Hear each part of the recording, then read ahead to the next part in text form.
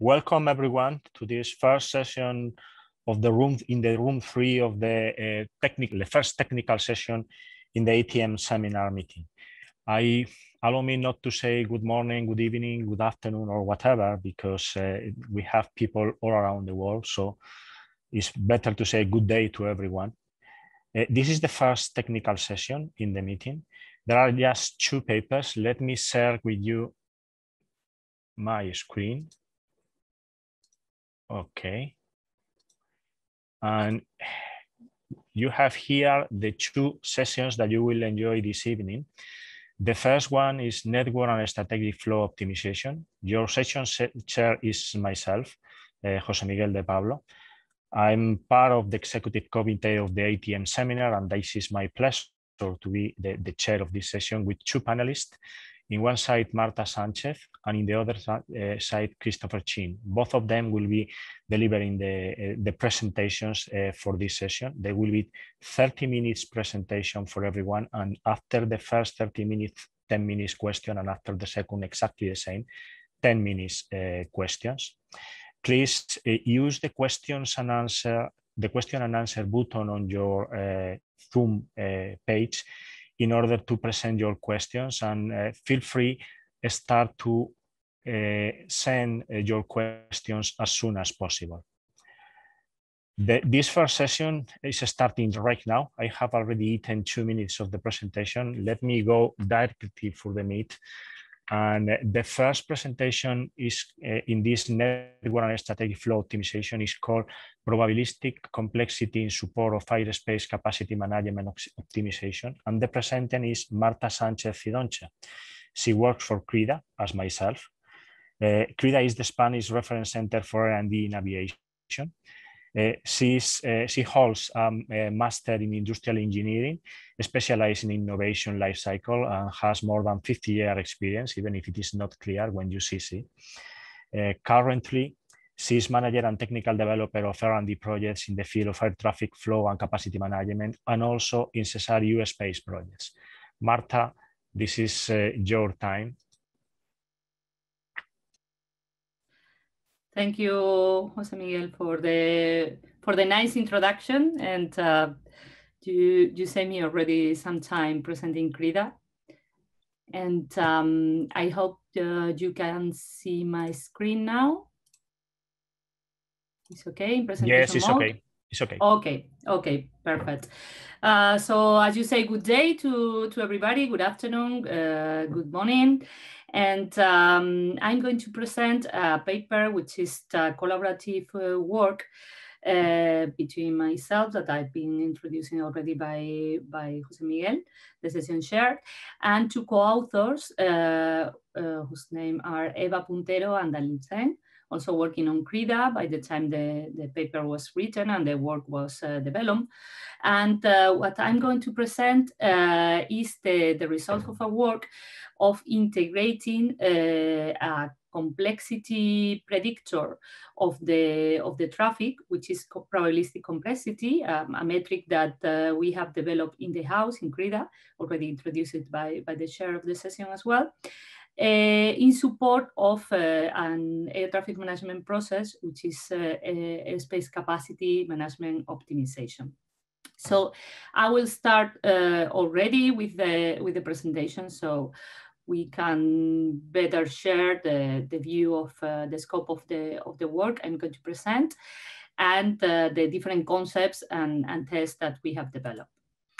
Um, so uh, the, uh, the scheme of the presentation is uh, as is shown in this slide. Uh, first of all, I will introduce uh, the concept of uh, dynamic airspace configuration as it, use, it is used in, in air traffic management. Uh, in particular in the air traffic capacity and, and, flow management process, and the expected benefits and what's the problem statement, what are the, the challenges and why we have uh, developed this work to, to solve them.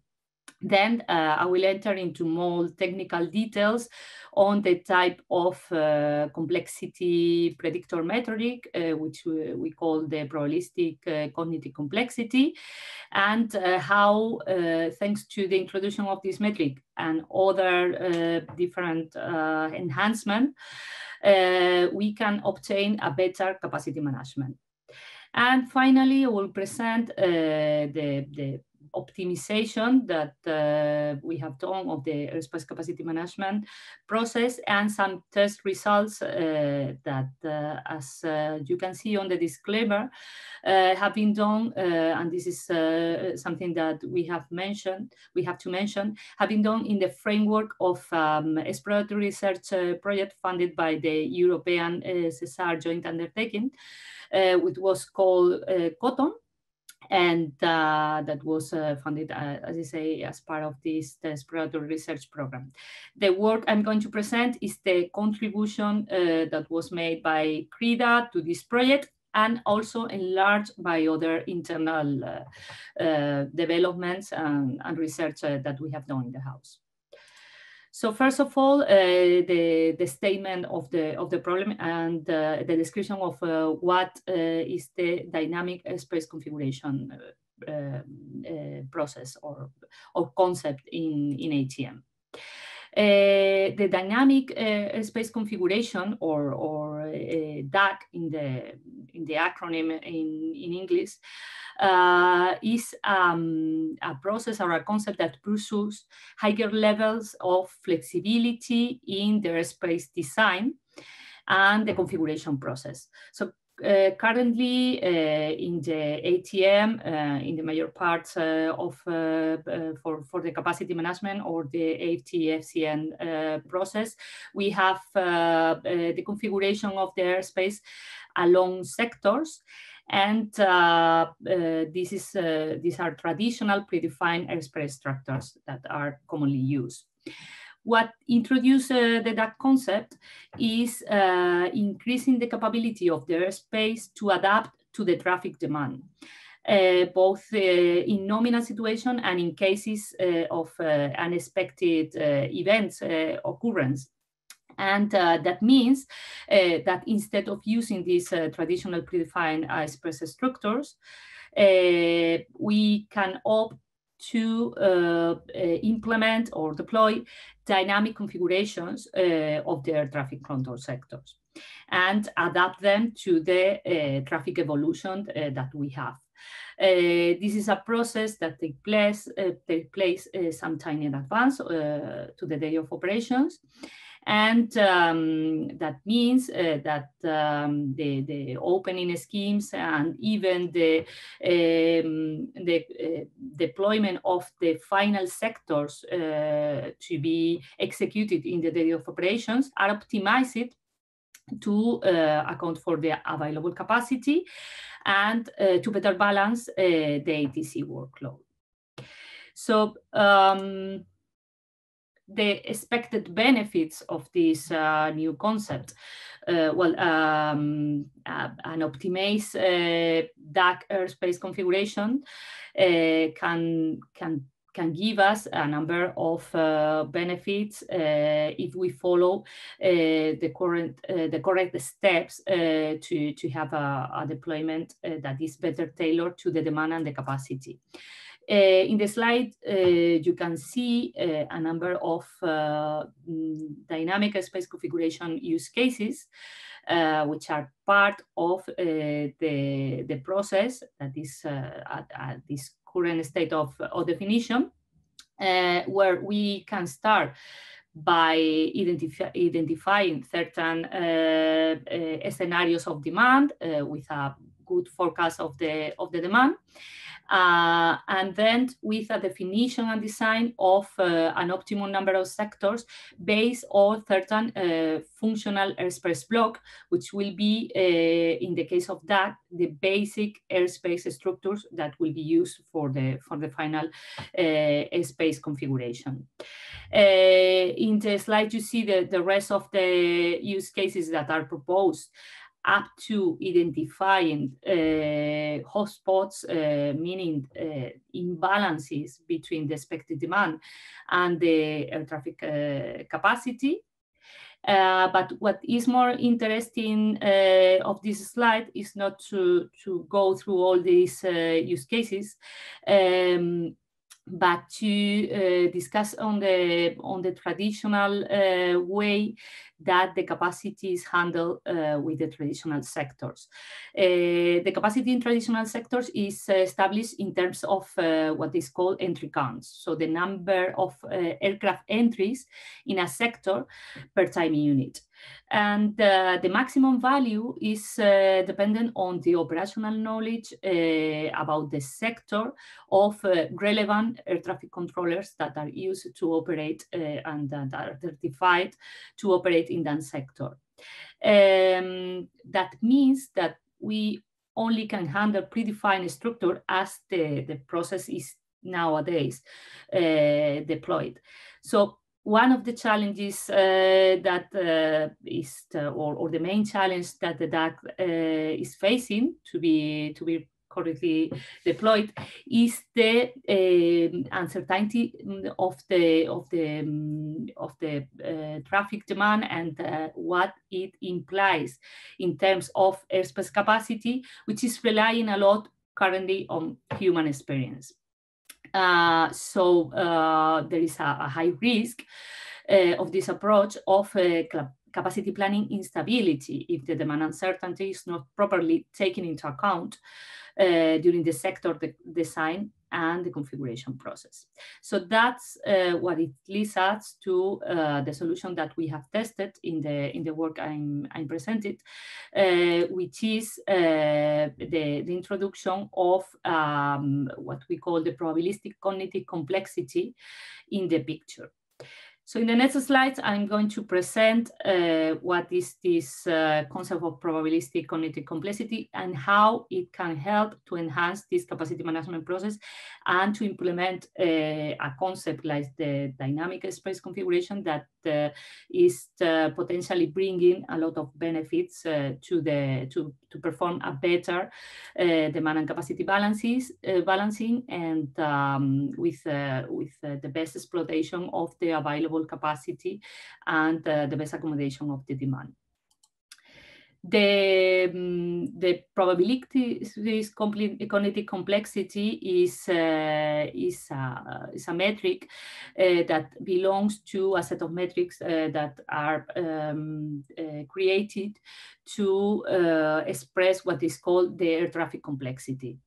And for those that are not acquainted with this, uh, the air traffic complexity is a measure of that try to mirror the implicit difficulty for an air traffic controller uh, in managing certain set of traffic and the uh, area of responsibility, in this case, uh, an airspace sector. So why this metric is put in the picture because uh, there is a consensus view uh, in the ATC re research uh, related to this um, uh, difficulty of managing traffic that uh, the, the complexity of the traffic uh, drives the controller workload and the controller workload is in the end what is limiting the, the capacity of the of a given airspace.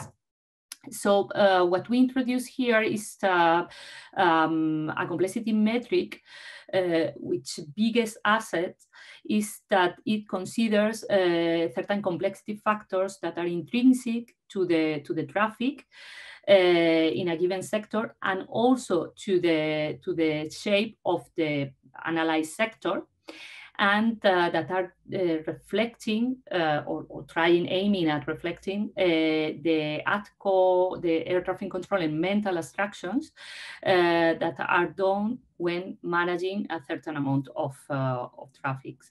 Um, the probability cognitive complexity is accounting for, for a number of what we call complexity generators in the in dynamic airspace configuration. So there are certain factors that are uh, impacting uh, the, the complexity of a given traffic and uh, that are taken into account into the, the computation of these metrics.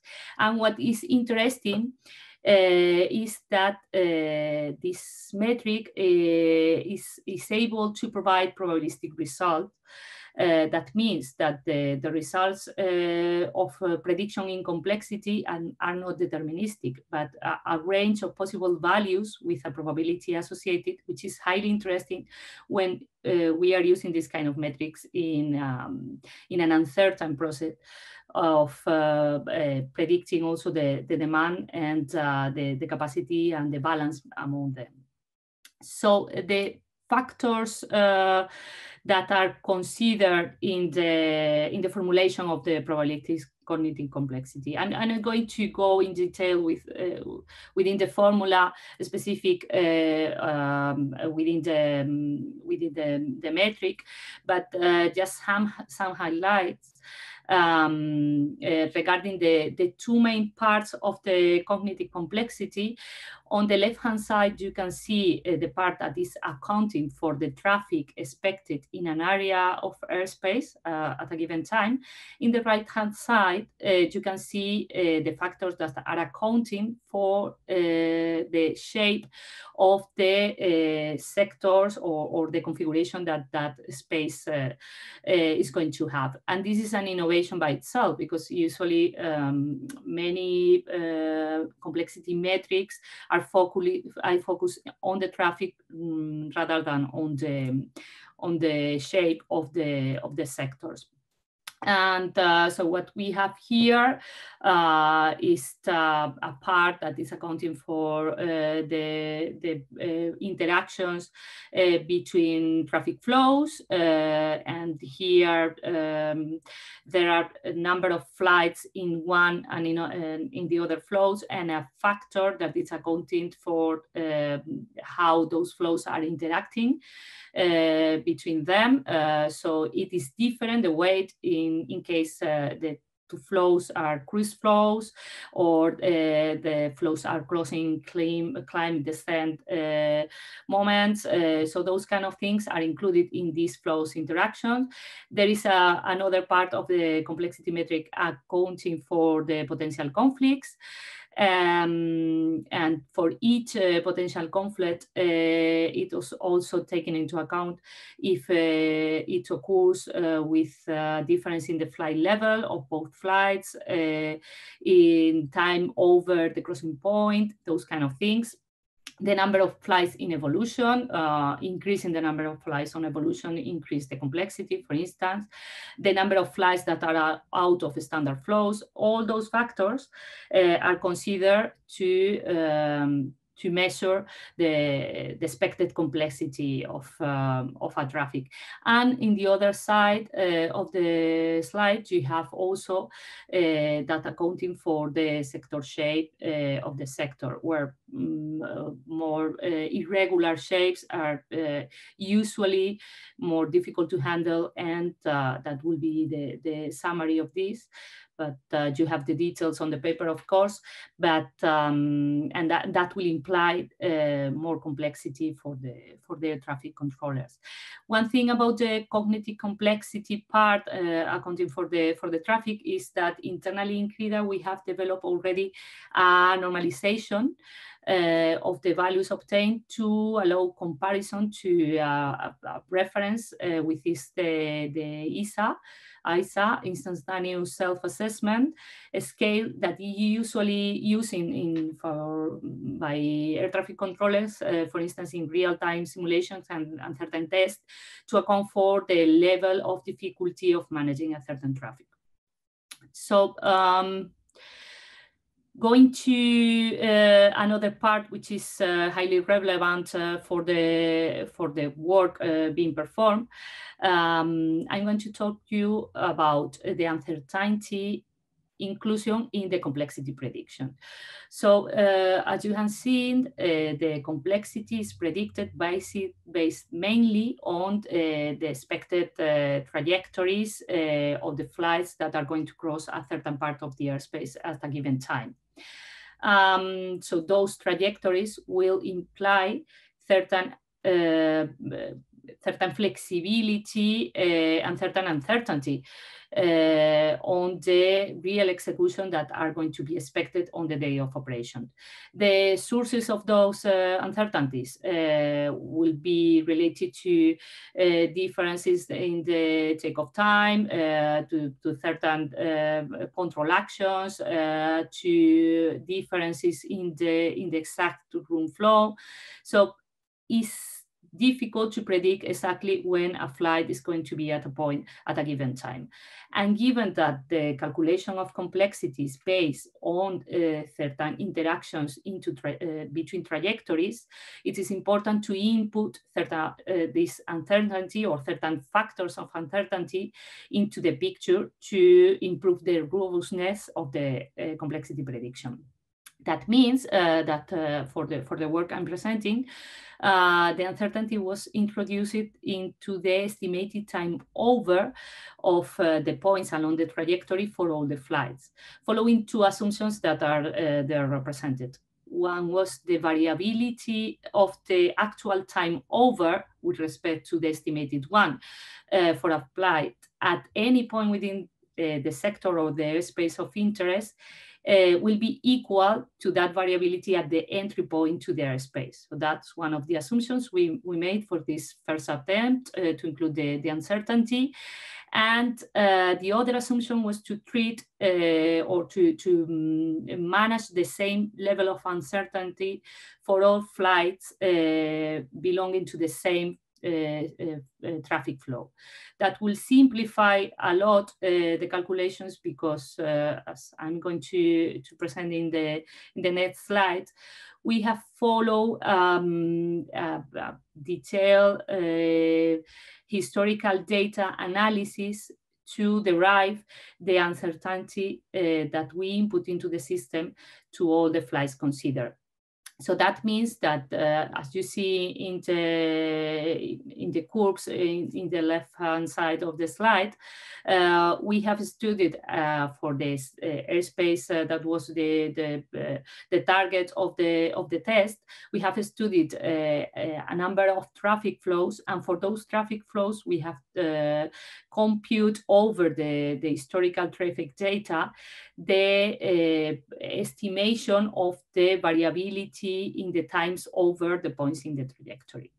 And uh, that simplifies a lot because uh, if we have to do the same at a flight level, uh, it will request uh, much more um, uh, computation time and, and the benefits of doing so are not clear because we are focusing on interaction between flows and from the results we are obtaining that seems to, to be a, a good predictor of the level of complexity that we are going to have.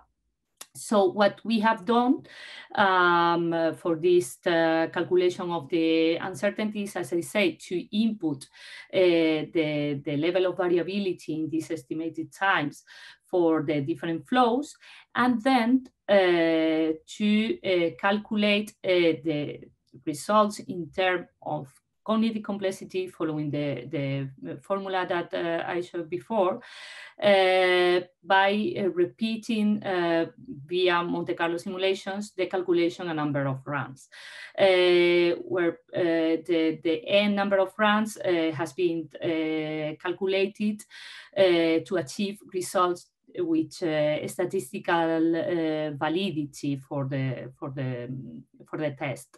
So the random uh, deviation in the estimation time over is different in each of the end runs.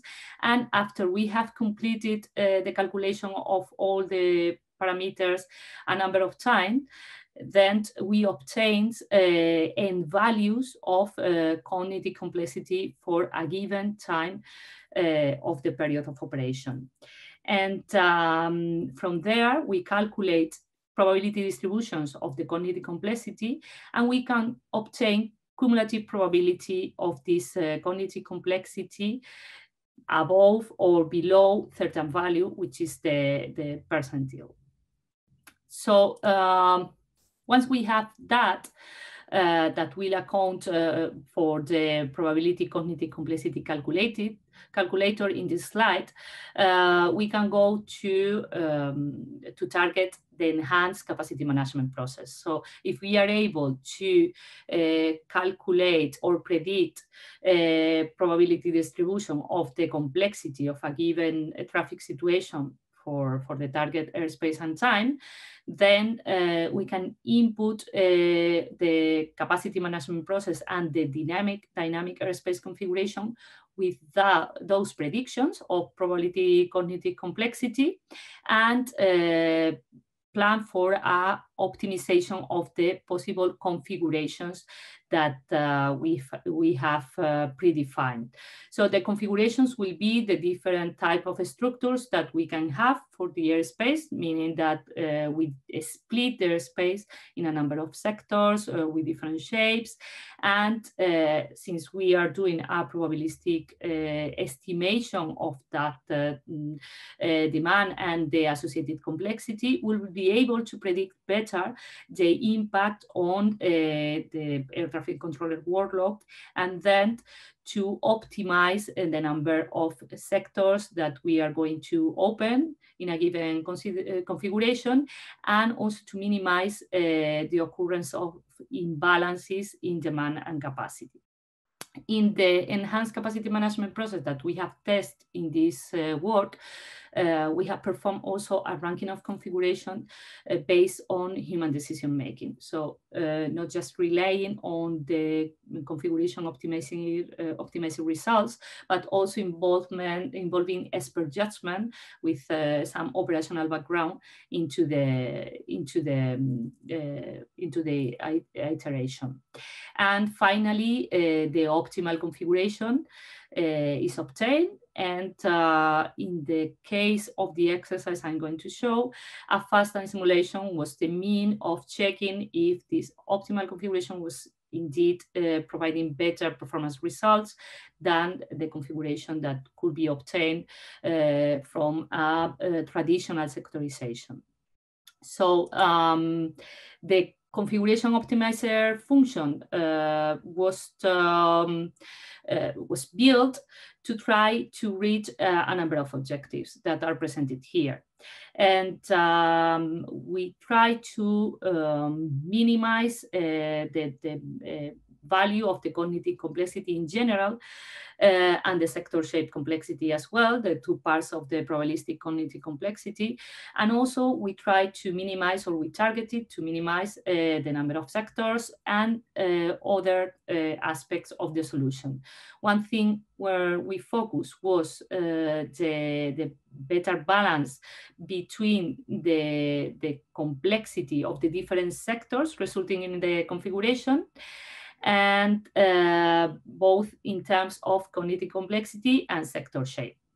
But in any case, uh, as I will show or I will discuss at the end of the, the presentation, the idea where um, uh, that we took for building this uh, optimizer was that it was uh, uh, able, it was able to be customized by the operational final user so that each user can uh, better choose the objective function and the targets uh, that were uh, that, that were better fitting the, the operational uh, strategy of the of the user.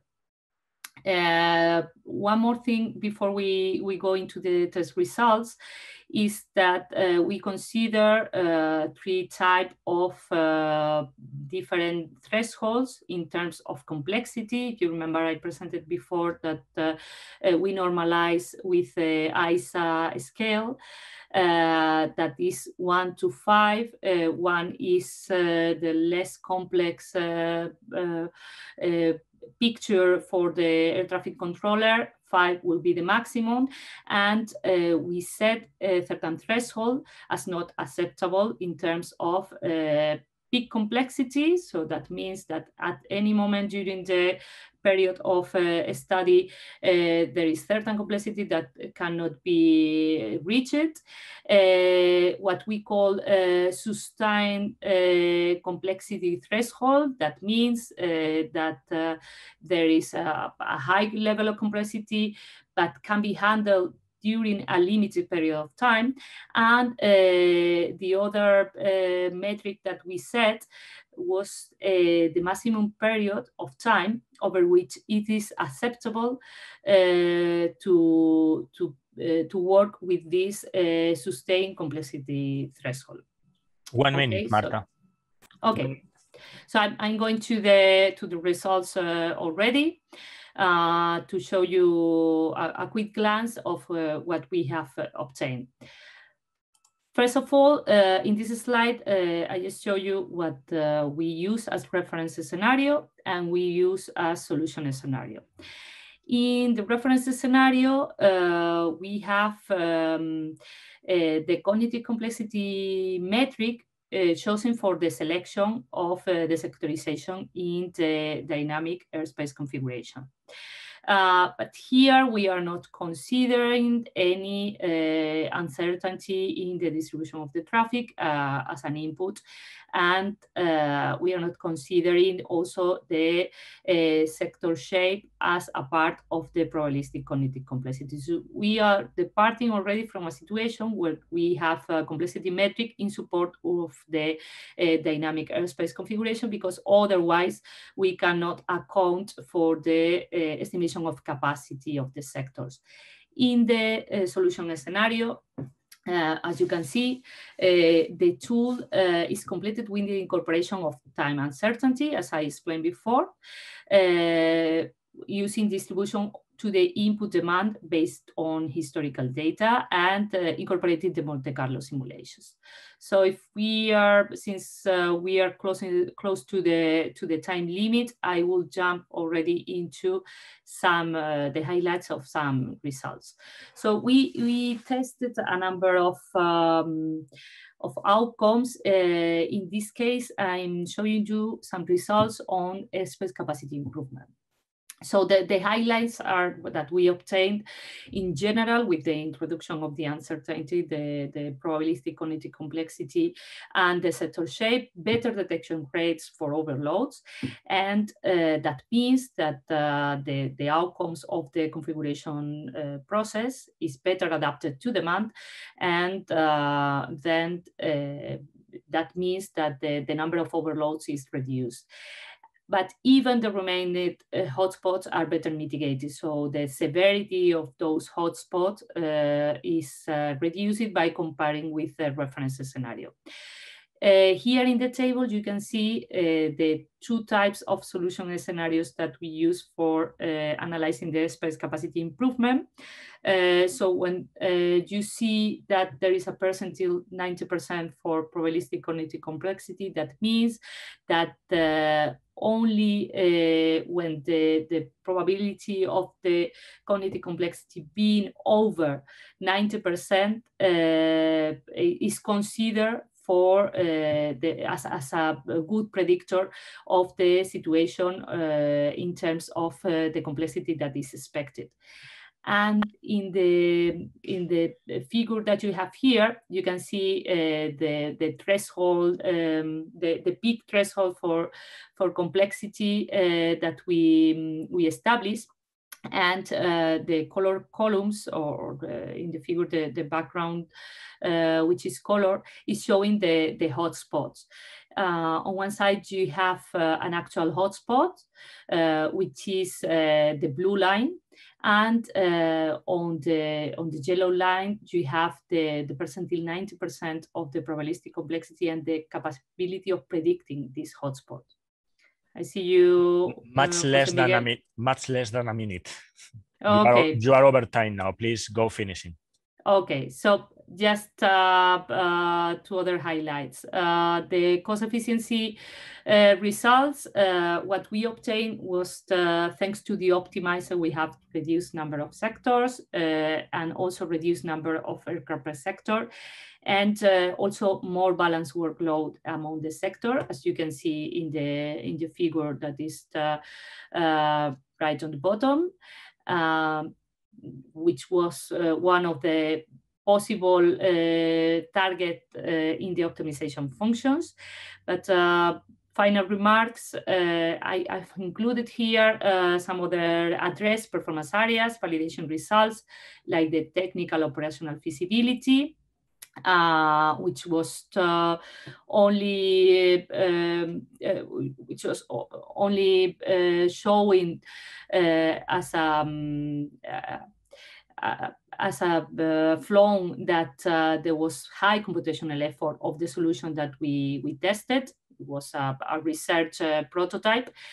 On the safety side, we have uh, also reduced number of conflicts in the resulting uh, traffic over the selected configuration. And one thing to, to be highlight is the, the solution, uh, both stability, thanks to the probabilistic input into the optimizer and also the adaptability. So um, uh, as I mentioned, uh, the, the solution is uh, created to be able to be customized by the final spec user. And the next research phases that we have in mind uh, will uh, ensure uh, that uh, the weighting parameters that are feeding the sector configuration optimization uh, are, are better aligned to particular uh, strategies of the final users. Uh, visualization of potential benefits of its con configuration is not yet included since it was a research prototype. And for us is, is another objective to continue working on the stability of the configuration selection a long time uh, to minimize uh, changes in, in the configuration uh, results of the optimizer in the dynamic airspace configuration process. And that's all for now. So now time for some questions. Thank you, Marta time for questions. Please, if you have questions, uh, you are able to put them on the questions and answers session. Uh, if not, while you are thinking a little bit in the four or five minutes that Marta allow us for questions, less than the 10 ones that were initially established, I, I would like to break the floor with uh, one specific one. Lots of the things you have said are dealing with uncertainties, lots of uh, uh, uncertainty sources. Uh, and what you are doing is predicting the cognitive complexity as a way to improve the sectorization. Mm -hmm. Do you plan or have already made a number of uh, data captures to check if those uncertainties are introducing so much variability on the cognitive complexity that makes this uh, not fully useful? Um, to be sure, I understand the question. So you mean uh, comparing the results in cognitive complexity with and without variability of the inputs? No, I mean, no. if, if you have a prediction of the of the situation and you calculate the complexity, the cognitive complexity over mm-hmm. this prediction, when uh, if you later on uh, try to have those data from the real world to know yeah. what is the variability and to know if it is inside or outside your area of uh, uncertainty. Because if it is out of the area of uncertainty, you have a problem because yeah. Uh, the prediction is not good. Yeah, I, I must um, uh, warn that this is a, a, work that has been done outside the work I'm presenting. So as an input for this work, uh, we, we used um, a cognitive complexity metric that was already tested in that sense. Uh, that means comparing uh, the prediction uh, capability, taking into account the, the uncertainty of the, of the domain input uh, with what happened in, in reality. So uh, I guess that uh, you mean that. And yes, we are able to predict in terms of the ISA scale, well, the, the complexity of the of the traffic of executed really in the uh, in the day of operation of what uh, really happened. Uh, but what I was presenting here was based on fast time simulation of the resulting traffic uh, over the optimization tool, just to, to be able to better compare uh, the, the different uh, performance uh, results of the traffic. So we were comparing the simulation of the resulting traffic and express configuration with the simulation of the resulting traffic and express configuration with and without the optimizer. Uh, just for every for the for the sake of the audience, uh, do you have below uh, at the bottom of your screen you have questions and answers? Please, uh, if you would like to put any question, use this. Uh, because now there is not not a lot of them. Yeah, just another question, uh, Marta, mm -hmm. just before is the last one, and we have one minute uh, to finish. Okay. You intend to implement this and to check this on the real world. That's okay. I have understood you the, well from your last slide. Uh, yes, the idea is to evolve uh, the prototype that we created and that we already tested into a prototype with uh, potential to be used uh, as automated tool, uh, automation tool in support of the air traffic flow capacity management uh, process. By when you intend to check this prototype? Uh, I mean, that's work uh, already being done uh, in in SESAR uh, program in in Europe uh, in the in the wave three. Uh, so the dates are close at least for for TRLs that are not high enough for for the whole prototype to to be functioning. But for basic features, I will say a couple of years, but I will have to check. Okay, Thank you very much, Marta. It's uh, 16.30. It's time to close this first presentation. Thank you for, for, for the presentation and for the clarity. And I hope you have enjoyed all of, all of you the presentation. Then before we go to the next one, thank you, Marta, to stop to share this. Thank you. Okay. Uh, the next presentation is called uh, Airport Ground Handling with Hierarchical Control Objectives. And the guy that will be presenting this is Christopher Chin. Christopher is a, a, PhD candidate in the Department of Aeronautics and Astronautics at the MIT, uh, advised by Professor Hamsa Balakrishnan. And Christopher completed his undergraduate at uh, University of California, Berkeley, and spent a year at NASA before starting graduate school at MIT. So, uh, Christopher, uh, this is your time to present everything. But first, let me ask uh, all the audience to put the questions uh, as soon as they have ready on the question and, answer panel, because I believe the problem with the previous presentation is that uh, we are not familiar completely with the mechanism. Please try to use them. Thank you very much. Uh, it's your time, Chris. Okay, thank you, Jose.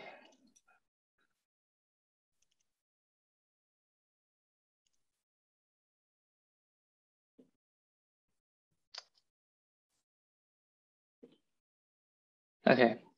Well, hi everyone. Thank you for attending uh, my talk today. Um, today I'll be talking about some recent work looking at augmenting the ground holding problem uh, with different control objectives. And this is joint work with Max, Karthik, and Hamsa while we were all at MIT. Um, here's a quick summary of what we'll go through today. Uh, first, I'll motivate why and how we are interested in augmenting the airport ground holding problem. Then I'll talk about the high-level planner. Um, this will be used to incorporate more complex objectives. And this high-level planner interacts with the low-level controller, which I'll cover in detail. And then I'll show some results from one of the scenarios we ran um, and briefly go over future work. So starting with the background and motivation. Um, so at a high level, we can consider an airspace system whether in the US, Europe, or elsewhere, um, as consisting of two sides, the demand side and the capacity side. The demand side can consist of, for example, schedules that airlines want to run, and the capacity side can consist of, uh, for example, airport arrival rates. And there's some back and forth interaction between the demand side and capacity side, particularly in the context of delays. So when bad weather hits, or other operational constraints arise, um, there can be an imbalance between capacity and demand. And because of that, there needs to be delays introduced to the system. So there are various um, initiatives that could be used, such as ground delay programs, where flights are held on the ground um, at their origin before taking off, um, miles and minutes in trails, um, which expands the required spacing um, between aircraft, and airspace flow programs, um, which meters demand through en route airspace. And these, these initiatives um, are shown as low-level controllers on the right, and they interact with the system. So there's a huge body of research related to this, um, including the ATFMP, or the Air Traffic Flow Management Problem, which is formulated as a large-scale optimization problem. And before that, there's also the single or multi-airport ground holding problem, which does not consider en route sector capacity. So where can we go from here?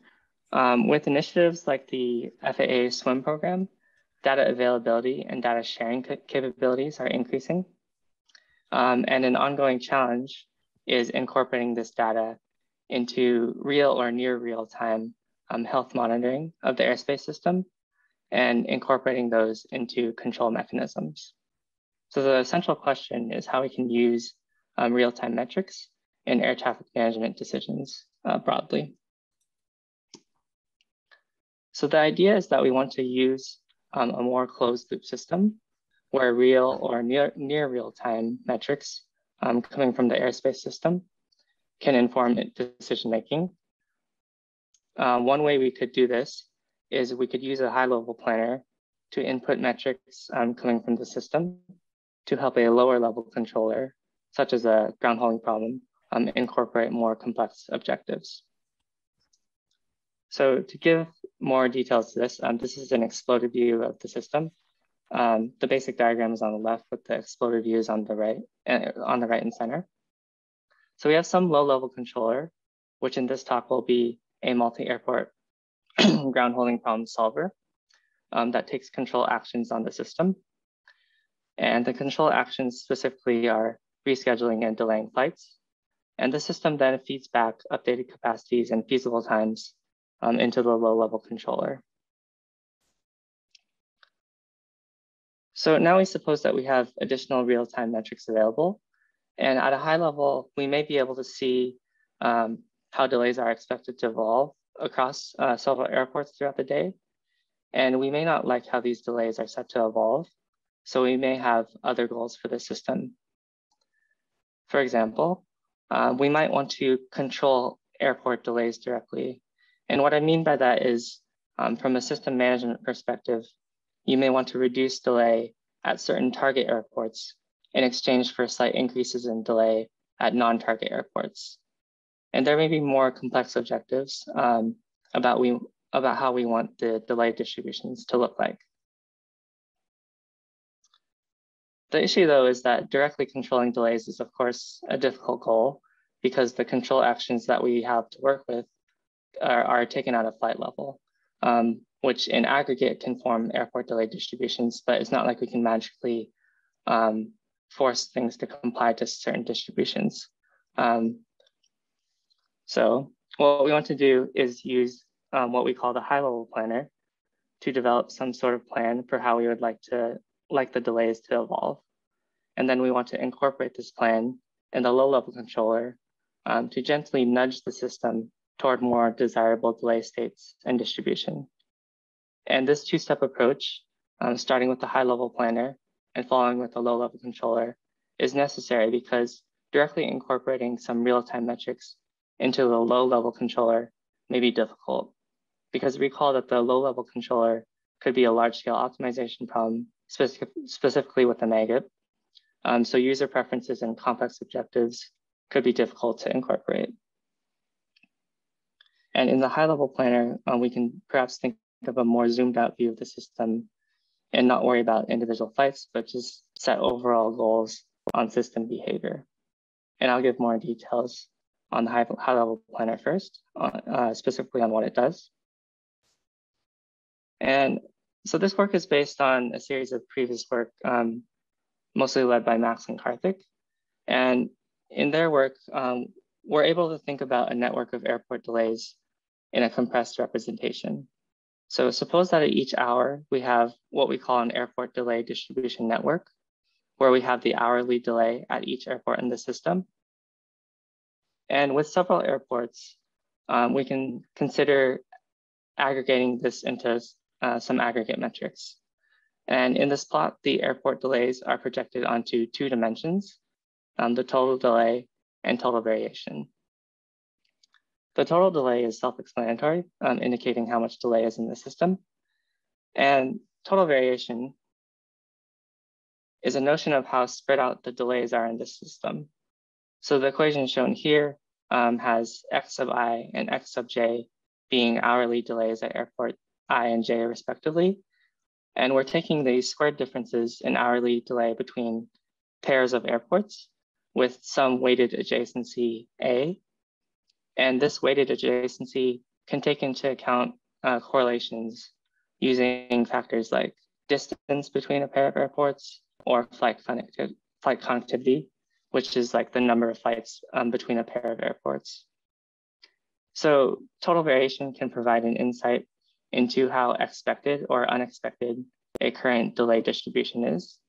So if Boston and New York, which are very close together um, and, and have lots of flights between them, um, have very different delays, we'd have a high contribution to total variation because it would be unexpected for them to behave significantly differently.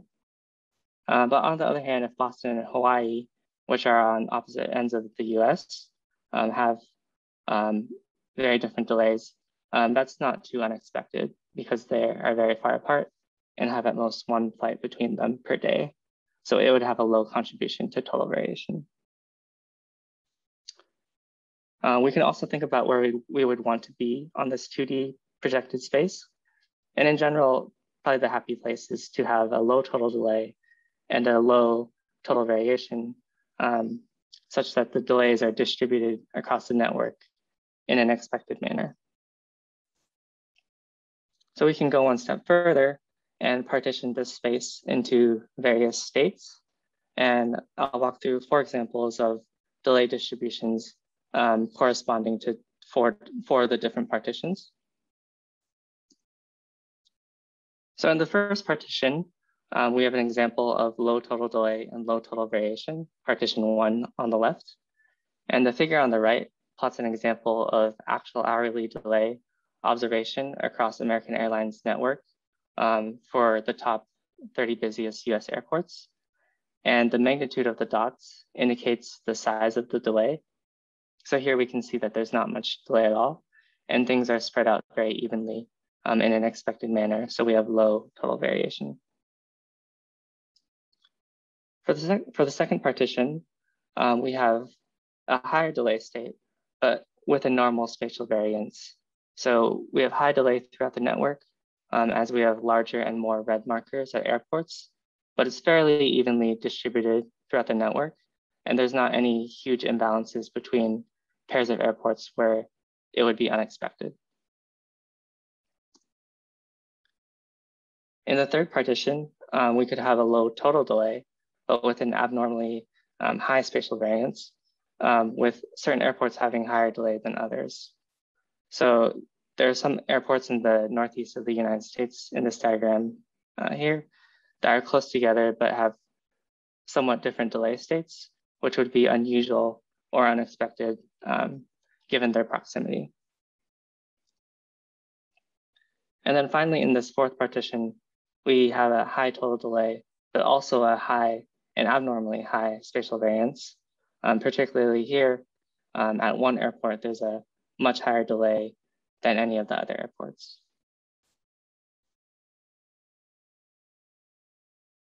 So we can also use this um, 2D space to think of the progression of airport delays throughout the day or throughout some time period.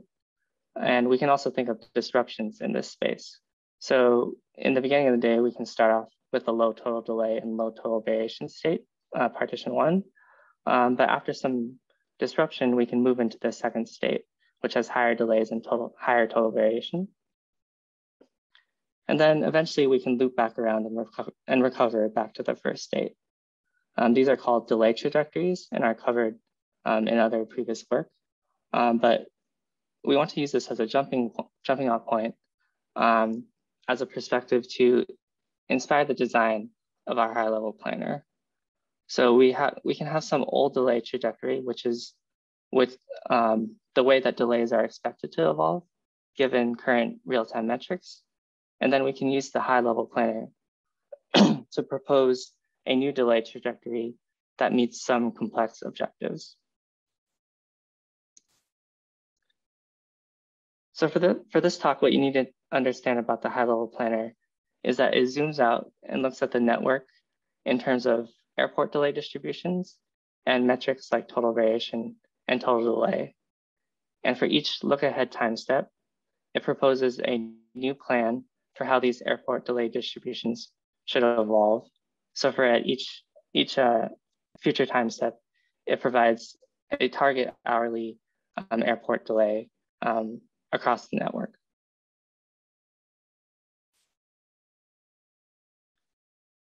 So now we can return to our projected 2D space and we see the old trajectory, uh, which represents what is expected to evolve based on some uh, vanilla multi-airport ground holding problem. Um, and then we have a new reference plan that's generated by the high level planner. And the, this plan is plotted on this 2D space, um, but each point um, contains within or below each point is um, airport delay distributions that are desirable. And you can start off with an initial time step. Um, and then in the next time step, we have an expected delay distribution um, output um, that is shown in blue based on the old trajectory. But instead, the high level planner um, could propose a different delay distribution uh, shown here in red, um, which has more desirable properties. And similarly, in the second time step, the reference plan again has a different proposed state. So to make this a lot more explicit, we can consider an example application, um, which is redistributing delays between airports. And this is what the high level planner will focus on in this talk. The setup is that we might be unhappy with how airport delays are expected to evolve, and thus we may desire to redistribute um, delays away from target airports. And here note that we're only working with flight delays, no flight cancellations. Um, but the high level planner is working on a more zoomed out view of the system and can propose a reference plan that meets this objective of redistributing airport delays. The high level planner does not have detailed information like flight schedules and capacities um, because it's working with more network measures like total delay and total variation, and uh, crucially, the airport delay distributions. So this is why we need to link the high level planner and the low level controller. So now we'll move on to describing the low level controller.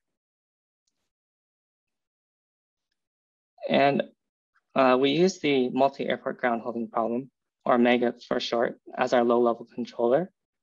And recall that the example that we're working with is the airport delay redistribution. So we're going to test three um, different MAGHP formulations to tell the story.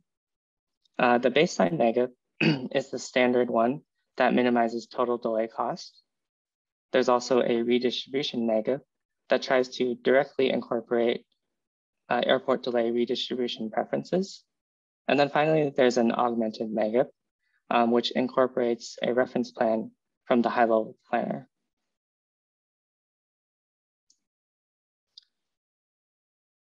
So we can now look at the constraints that exist in all three versions of the MAGHP.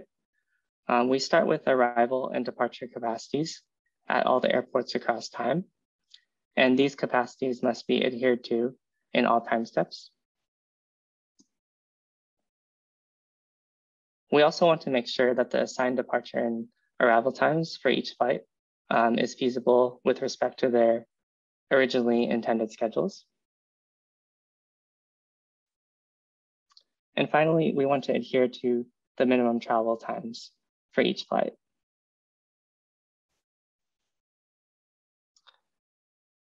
Um, the, the three formulations um, primarily differ in their objective functions.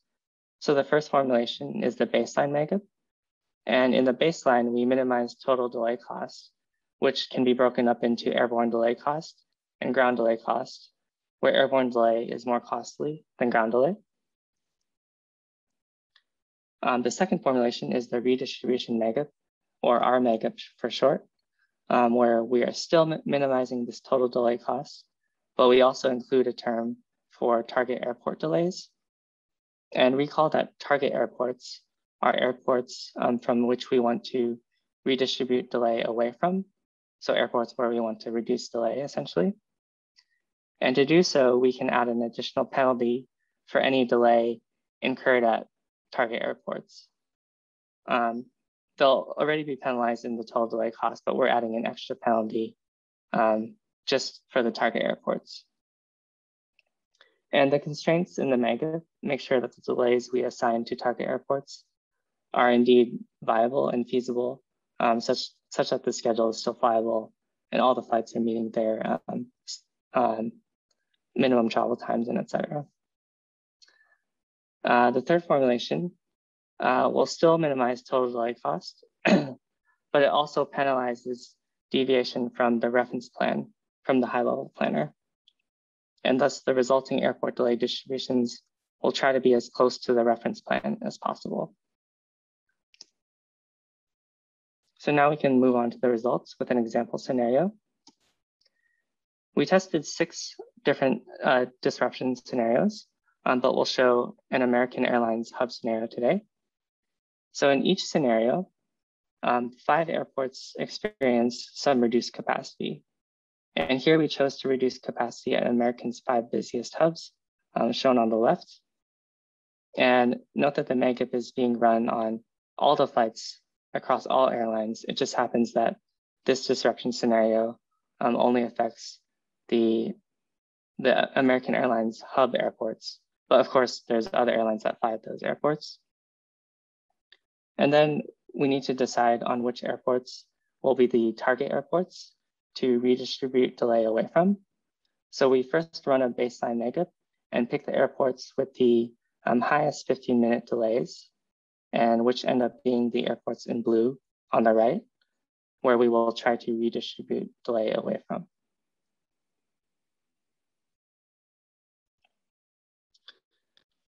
So some results, um, we now compare the behavior of the redistribution MAGHP, which is the R MAGHP, which tries to directly encode redistribution um, desires. Um, and, we, and we also look at the augmented MAGHP or A magap, and both of these are looked at um, relative to the baseline. So the first thing to note is that both of these formulations result in a very similar total delay to the baseline MAGHP, which is good. Um, and specifically, it's within like 0.02%. So the increase in delay is either zero or negligible. And next, starting with the R MAGHP, um, we, see, we see it leads to a reduction in delays at target airports, specifically target airports, um, by 18.1% relative to the baseline solution. And the figure on the right um, shows hours on the x-axis and the delay change relative to the baseline negative on the y-axis. So a positive value means that there's more delay relative to the baseline, um, while a negative value uh, means there's less delay relative to the baseline. And looking at the top right, as, as expected, um, the non-target airports generally get more delay relative to the baseline. Um, but there's also a severe um, spike in increase of delay at non-target airports. Um, on the other hand, the augmented uh, or the A leads to a delay reduction in target airports as well, um, but only by 13% um, compared to 18% with the R MAGHP. And so looking at the plot on the bottom right, we see that we have a smoother solution in the sense that the non-target airports um, in red are not as severely impacted um, with the A MAGHP as with the R MAGHP on the top right. So if you want like a maximum delay reduction, the R MAGHP seems like it would be preferable um, because it reduces delay at target airports more, but it comes at a high price of um, variability in the non-target airport delays, specifically these, uh, the red curve up here.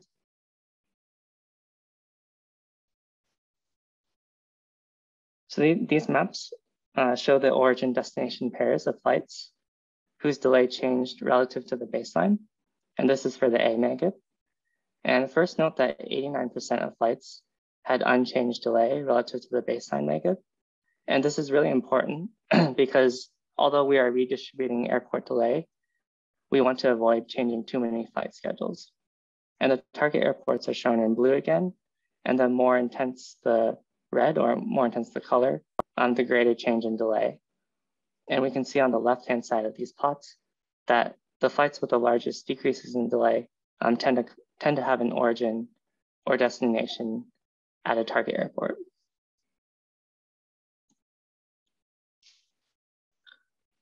So we, now we can bring back this notion of total variation, which recall is a measure of the geographic spread of delays in the network.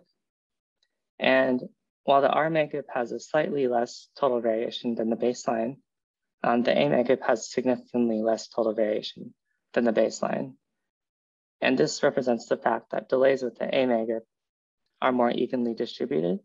Um, but in contrast, the R MAGHP sometimes has total variation higher than the baseline. As we can see here, the red curve of the R MAGHP can be above the baseline in blue, uh, meaning it leads to airport delay distributions that are unexpected or very spread out. Uh, for our final set of results, um, we consider a detail about the A MAGHP. So recall that the A MAGHP is tracking some reference plan there's a parameter that we call theta that modulates um, how, how much you're penalizing um, deviation from the reference plan. And higher values of theta uh, mean that there's a higher penalty for the low level controller straying from the airport delay distributions proposed by the high, level planner. And we want to see the impact of increasing theta. Sorry, five minutes. Yeah, thanks. So as it turns out, um, increasing theta to larger values, as expected, can increase total delay. And the issue here is that with higher levels of theta, um, the low-level controller is heavily penalized for deviating from the high-level planner. Um, but this creates a large burden on the low-level controller for re reproducing as best as possible um, the airport delay distributions from the high level planner. And this comes at the cost of total delay, um, the other term in the A MAGHP objective, um, as there's more emphasis relatively on replicating these airport delay distributions in the reference plan and less on minimizing the total delay cost. So this plot shows total delay on the x-axis and total variation on the y-axis um, for different values of theta in the A MAGHP. And in this case, the optimal theta in terms of lowest total variation and lowest total delay is 0.7. Um, but that theta value is, um, of course, scenario and situation dependent. So some sort of analysis would need to be done to um, pick the right theta to make sure that you're not forcing the low level controller to comply um, too strongly with the high level planner. So I'll quickly finish up with some um, concluding thoughts and future work. So in summary, what we did is we developed a hierarchical framework with a low-level controller, um, specifically a MAGHP optimization and a high-level planner. Um, our high-level planner worked on redistributing network delay distributions. Um, and then the MAGHP translated it into actual flight schedules. So the high-level planner provides a reference plan, which consists of target airport delay distributions. Um, but then the low-level controller has to then translate it into feasible, into feasible flight schedules because the high-level planner is working on more abstract terms, not considering individual flights and capacities.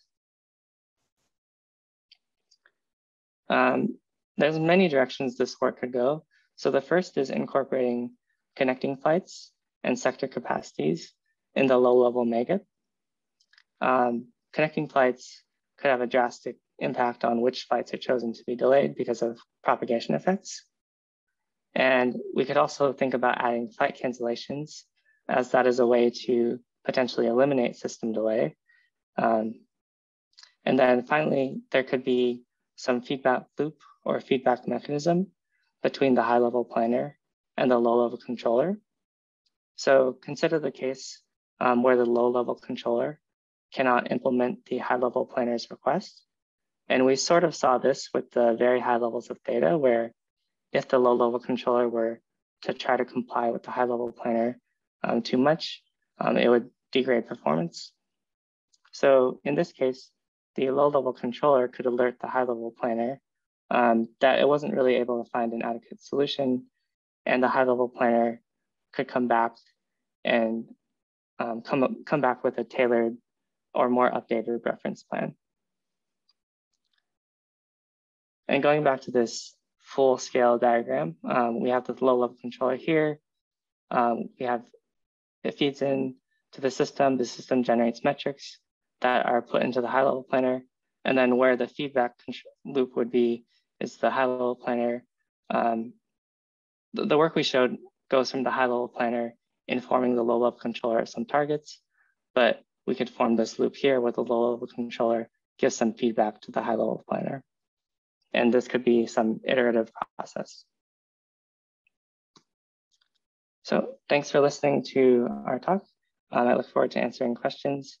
And this first paper is our ATM paper.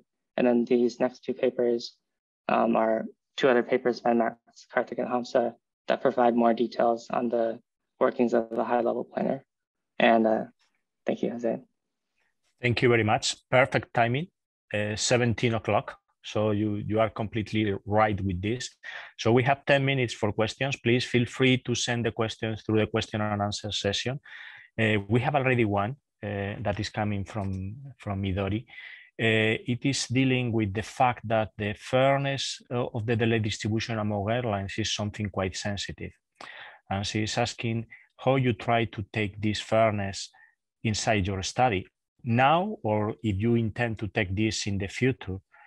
Because if I remember well, you say that uh, you have took five American Airlines uh, airports where they have impact. If you try to put more airports like the ones you have included there, they will be a probably very difficult to manage project uh, with uh, lots of airports, all of them with restrictions, and, and the the space of solutions could be quite narrow if existing.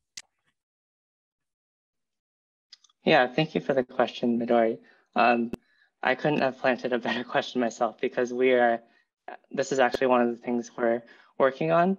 Um, so one thing we're considering is um, if we're still sticking with the MAGHP formulation, um, we could alternate who gets, alternate which airline gets control of the MAGHP um, and then we could, each airline could have a um, maximum delay cap. So um, when, it, when it's an airline's turn to run the MAGHP, um, they get some flight schedule information from the airlines, from the other airlines, but they can use their own private information to try to optimize the schedule to help themselves. Um, but there's a maximum amount that they can um, delay other airlines. And related to this work also is the idea of keeping a ledger or keeping track of um, how much delay the airlines have incurred relative to other airlines and making sure that um, this tries to stay balanced. So if there's a huge imbalance, then maybe the system could step in and either give control of the MAGHP to another airline or um, in a centralized version, it could, um, in the next round of scheduling, um, force um, other airlines to help out airlines that have been severely um, penalized in past time steps. So yeah, I think this is an important question um, and it, we're still working on it, but I'm glad that uh, someone asked about this because it's um, it validates like why we're working on this and certainly a big issue of fairness. For sure, you feel uh, that uh, you could answer the question uh, in written through the question and answer panel, feel free. If you have more information, this will still be open, so you could answer the question uh, more in detail later on. Uh, uh, one of the general, while, while we are waiting for additional questions to be put on the panel, I have one is that when reading your paper, something that uh, for this paper and for the previous one, for both of them, but in particular for yours, uh, I, I, recommend everyone to read the paper because it's much more details on the paper than on the presentation. For sure, it's not possible to present a 10 pages paper fully inside a, a presentation like this. So it's a, uh, enjoy the reading because it's really interesting to read the paper, but uh, you have the impression that this is one of those things that is academically perfect. It's very, very interesting to read, but uh, we are not able to to really measure the distance between this paper and the real world. Uh, do you have intentions to try to test this in the real world? Because the uncertainty that is one of the problems that is behind every corner of the paper uh, could be very difficult and could put a big challenge on the algorithms. Yeah, we don't have concrete plans to test it on live systems, um, but that is something that we would definitely potentially be interested in. Um, I think addressing this fairness issue would definitely help um, try to make move this research in the direction where it's more practically implementable. Um, but yeah, I agree that um, that there right now there is some distance between um, the theory and the practice, um, but that is something that we will work on addressing that gap.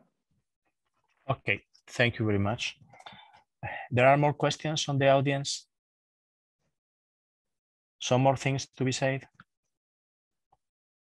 If I remember well, when I was reading the paper, uh, okay, I, I, have seen uh, on the chat uh, an answer from, from uh, Hamsa uh, telling that one would hope that theory leads practice. That's true that's quite interesting, but uh, uh, the, the theory should be checked in practice later on. And you have put the practice in, in, on the table, sorry, the theory on the table. So now we expect that you help uh, to try to put the, the, the practice about those things. Okay, thank you very much. Uh, and that's why I asked you, what, what's your future job on that? I hope I will see a future paper with this kind of thing. Okay, uh, some more uh, to be said? some more questions. I have another one. What was the time horizon of your study? Did you run one day?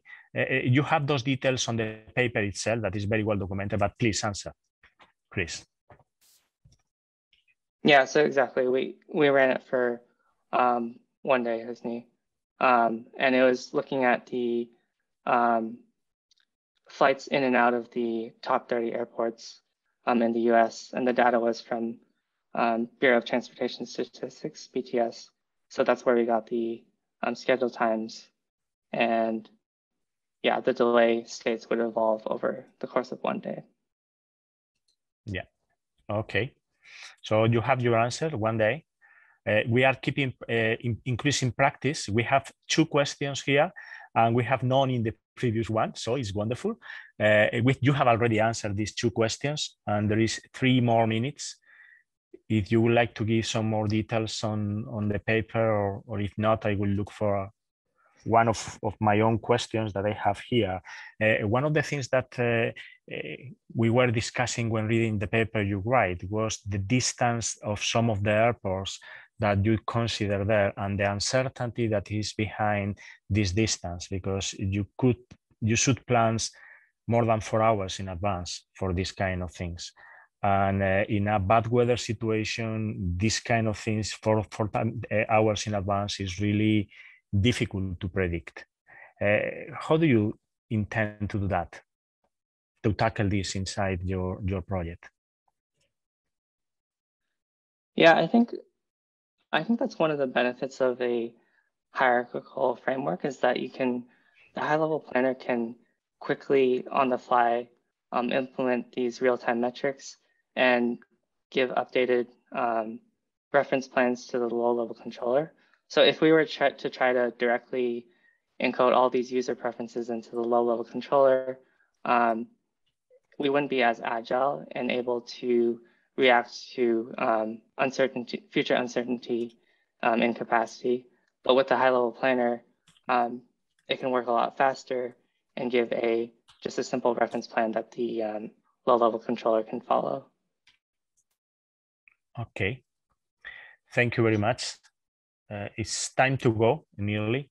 So thank you for, for the presentation. If uh, you could give me back the, the control of the present. Ah, there is another question.